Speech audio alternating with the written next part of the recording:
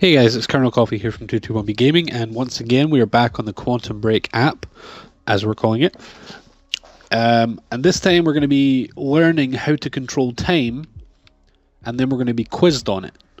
So there's there's some gameplay involved here, and there's a bit of spoilers on the abilities that you're going to get to use.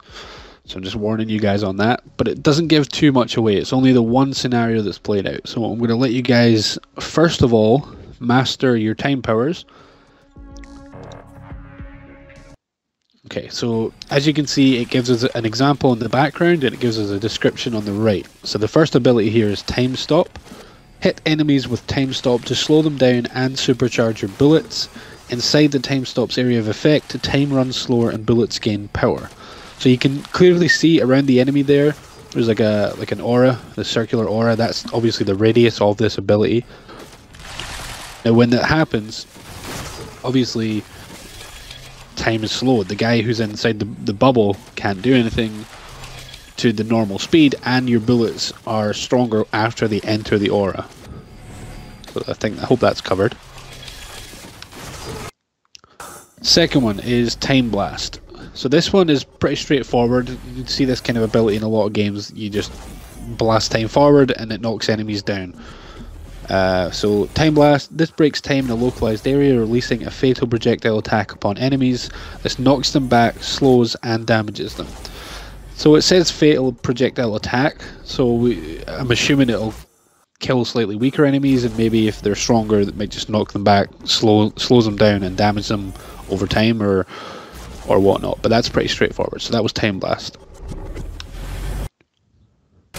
Okay, so this one's Time Dodge as you can see there, it was pretty straightforward. That one, he just forward forwarded himself in time um, in order to get closer to his target quicker, which has worked out really well for him holding a shotgun. So time dodge it allows you to quickly move a short distance as time briefly slows down during and after the time dodge. When transitioning into aiming, time dodge allows Jack to pull off spectacular slow-mo enemy kills. So the slow-mo enemy kills is pretty much what you just seen there. The guy's about to reload, you time dodge forward and catch him off guard up close. So I, ho I hope that's pretty self-explanatory there. So this one's Time Shield, so we're on the defensive this time, and this one looks like it's going to be very useful. So Time Shield, create a protective shield around yourself to reflect incoming bullets, great for reloading Jack's weapon and health under enemy fire. Time Shield also knocks, excuse me, Time Shield also knocks back nearby enemies when triggered.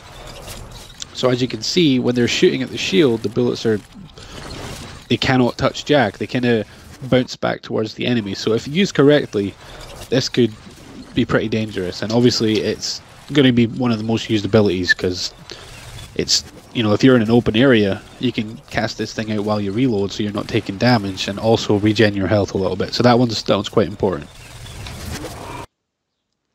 Okay, so time vision. This one again pretty self-explanatory.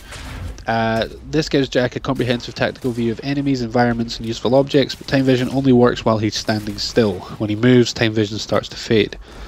So as you can see on the screen, when he activates time vision, he can see things through walls, he can locate nearby useful objects and stashes and stuff like that. So again, that was quite a useful one. No, never. And then finally, Time Rush. Freeze time, allowing Jack to move freely and quickly around the environment to escape, position for attack, or avoid obstacles. Time Rush can be combined with a melee attack to take down enemies. So that's kind of what we're seeing here.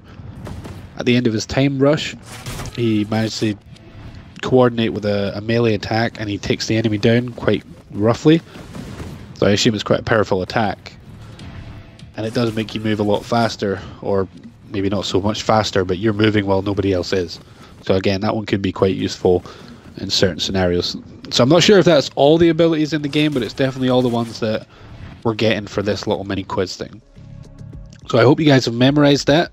I'm going to do the quiz now, the test, and it's going to give us certain scenarios based on that one mission, and then it's going to give us multiple choice of four answers. We have to choose the correct ability to use in the certain situation. So if you guys have memorized those powers, I want to see if you can get it all right while I'm playing through. I might not even get it all right. I've only tried this once. I'm not sure if it changes each time. So uh, we'll, we'll see. Here we go.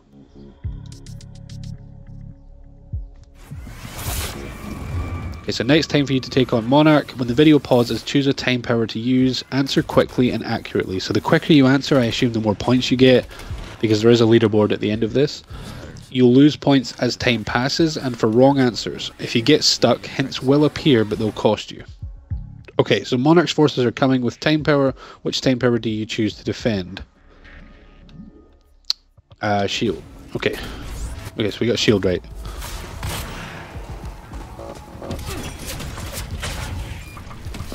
So as you can clearly see, there is quite a fair bit of gameplay here. Alright, so this one's kind of a spoiler here. Which time power which time power will close the gap between you and the enemy? So that's time dodge. We've seen that in the uh, in the rehearsal kind of thing, the uh, the revision. Pop the time vision there. What time power lets you scope out the environment for useful information or items? It's got to be vision.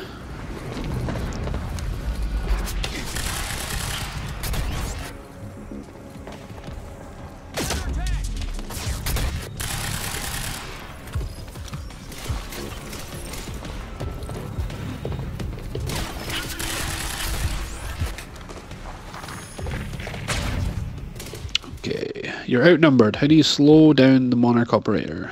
Uh, stop. Oh, okay, that one I didn't know. That was just kind of a guess, but I think. Wait.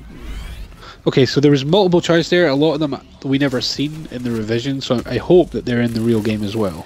There's loads of abilities to choose from. How can you break time in an area and damage nearby enemies? Uh, it's got to be blasting it.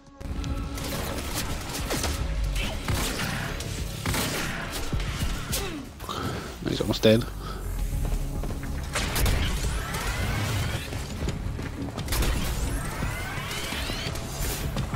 See now that would annoy me having the enemy mode like traveling through time as well. Okay, which time power will help you get up the stairs quickly? Uh oh. Okay, dodge again. Oh no, rush. Rush was the okay. Yeah, that was silly. So rush is where it stops time and you can run faster. Dodge is where you dash forward. Okay, that makes sense. Okay, we're coming up to the last one. Bullets are low. What time power will help you find a weapon cache? It's got to be vision again, yeah.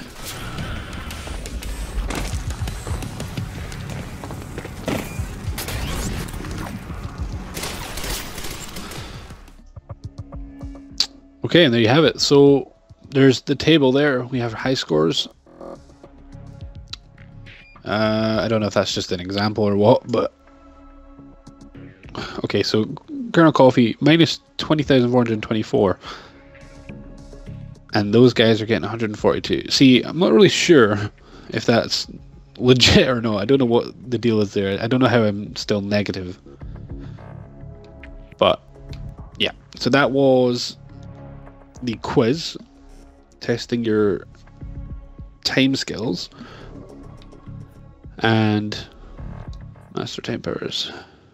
Okay, so let me just double check here. So time stop, time bowl. Oh yeah, that's right.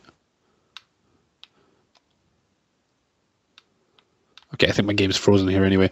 Okay, so I, I hope you guys enjoyed that video, the uh, the quiz. Let me know how you did in the comments below. Uh, if you enjoyed the video, please leave a like and subscribe as always. And when the game does come out, I will be bringing you live streams and walkthroughs and stuff because I am looking forward to this game. It's been a while a decent single player like this. So I hope you guys enjoyed and I'll catch you next time.